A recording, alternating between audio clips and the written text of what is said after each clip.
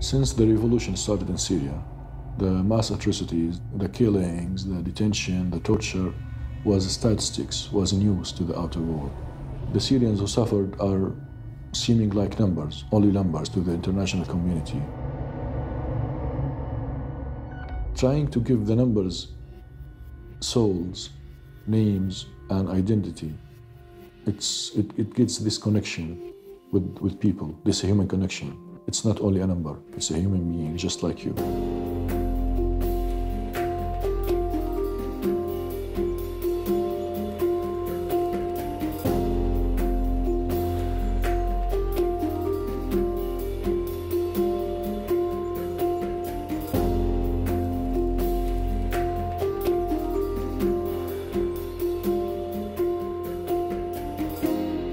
We had this thing we do in the detention. A group of five or six people gather together and they exchange the names and uh, phone numbers of each other to memorize them. So in case one of them went out, he can talk to the family and contact him and tell him about the situation and where is their son. But for me, it wasn't enough. Like I memorized five or six names and tell, and what about the others? I used to teach English for the detainees and they used to write the vocabularies or the grammar on pieces of clothes, scratching them with chicken bones. But it doesn't last long. So we were afraid that we may write all the names in this way, and when we smuggle out this shirt pieces, it would fade away, and all our efforts and risk we took will be in vain. Suddenly, one of us said, I have an idea, and he took a piece of plastic bag and went to the bathroom area. He came back with a red liquid inside it. It was uh, blood he squeezed from his gum and spit it in that. We thought of mixing this blood with the rust from the steel bars in the ground. So it was like writing, like a real liquid, real ink.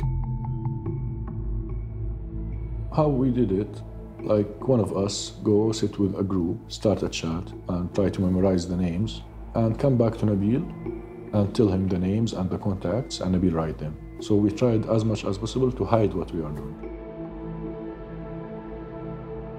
Finally, we gathered all the names.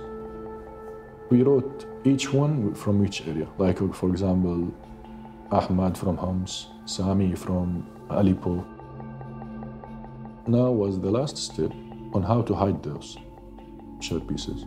So I thought that we could hide them in the collars, like in the collar, inside the collar, but insert it and cuffs, and the cuffs of the shirt. So we used the cheekbones to make holes in the cloth and put thread inside it and uh, put it around.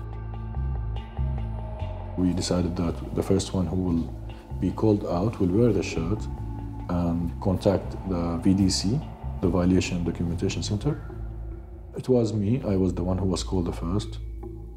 And I just, when I heard my name, I just jumped to the shirt. And that was like after maybe uh, 20 days from when we finished that.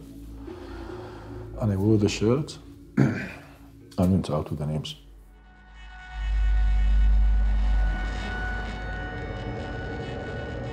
When I went out, I wasn't thinking of anything else, even my freedom.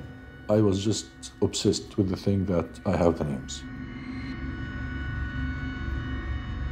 But what hurt me more that when I went out, I started to contact the families and telling them about their sons. And with all the work and evidence we have, we still got nothing. Those people who I left behind are still there. Do you ah. know what goes on in that prison? Have you been there? No, I haven't been. I, have been in the presidential palace, not in the prison. So here no. you have a very disturbing report about something going on in yeah. one of your prisons. Are so, you going to investigate? So Amnesty International knows more about Syria than me, right. according to you. No, right. that's not true. No, they, they haven't been to Syria. They only base their reports on allegation. They can bring anyone, doesn't matter what's his title, you can forge anything these days. And we're living in a fake news era, as you know.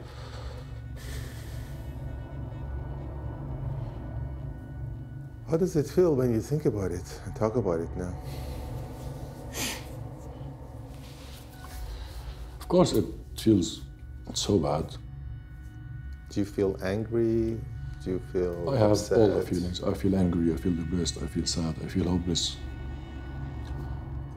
I feel violated.